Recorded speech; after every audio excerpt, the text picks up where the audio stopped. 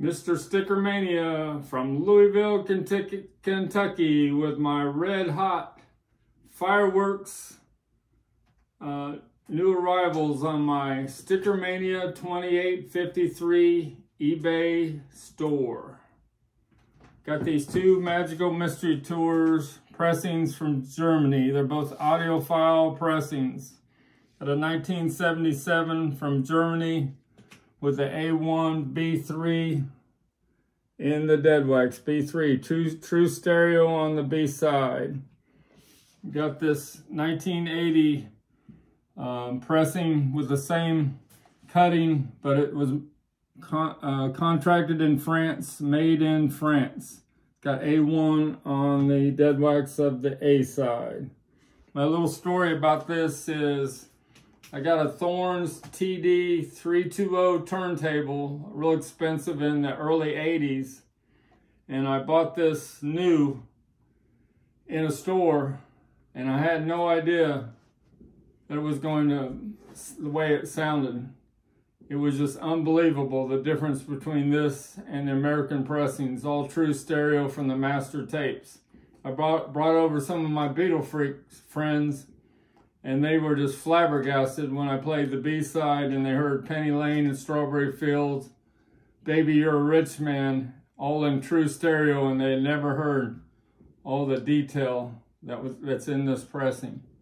It's just everybody that has expensive stereo uh, audiophile equipment system must have this pressing if they really want to showcase it. Just amazing. Got this, another audiophile pressing. My grandson's helped me out on this video. Got this German, Germany pressing of 1971 Sticky Fingers.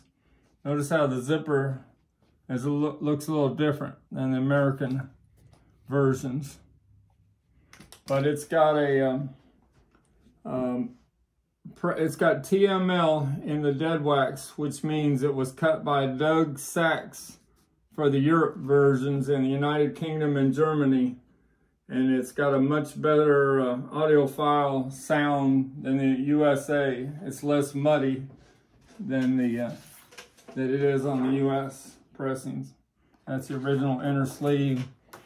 It's got uh, it's got an A1. It's got an A2B3 in the dead wax, which is the first pressing besides the TML. All right.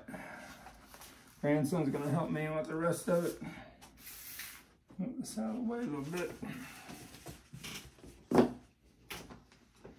We got this lot of 20 Rolling Stone monthly booklets from the United Kingdom between 1964 and 1966.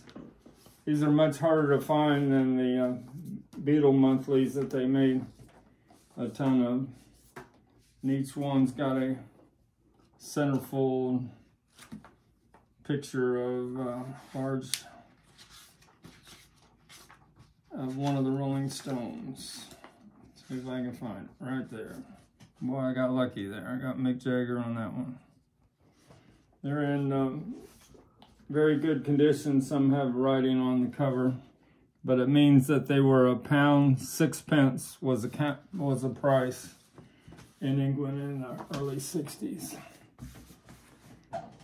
All right, we got next. Got another audiophile pressing, Rubber Soul.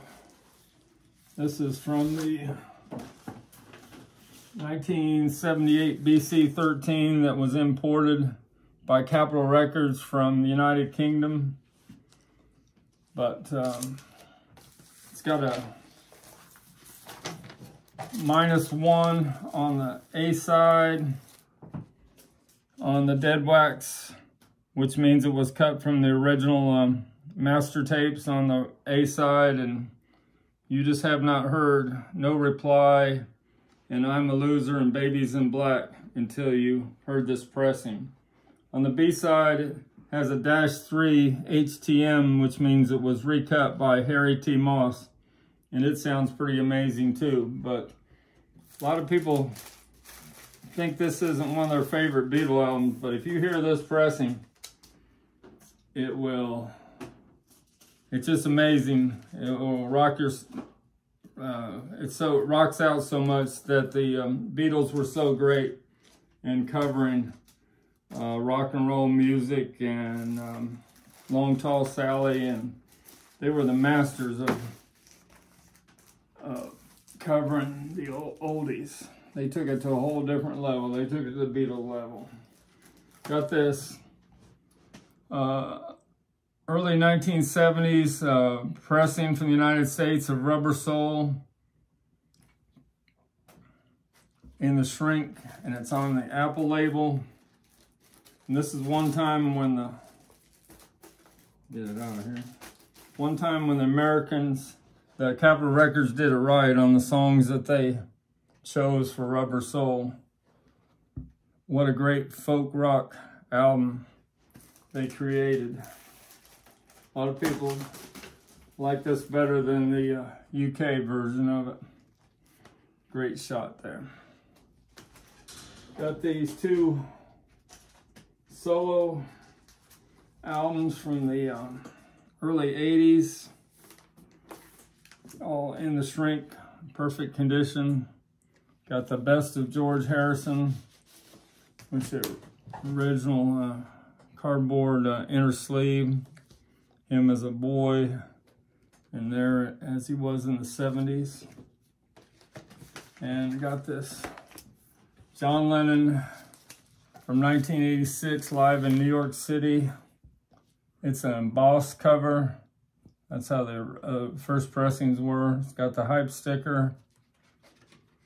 Got a picture from the, show and an unplayed record. Really catches uh, his um, only time he ever performed a live show, uh, complete show at Madison Square Garden, 1972. One more item. Got this sealed early 1970s, yesterday and today with the trunk cover. No, the butcher cover is not underneath this one. I do have another butcher cover that I'm gonna peel coming in here in a few days. Real nice one in the shrink. Original price was $5.87, but it's uh, sealed with a little break in the mouth there, but it's, it's sold about the first uh, 30 minutes I put it up on eBay. That's my fireworks new arrival specials for my Sticker Mania 2853 eBay store. Thanks a lot, grandson. See ya next time.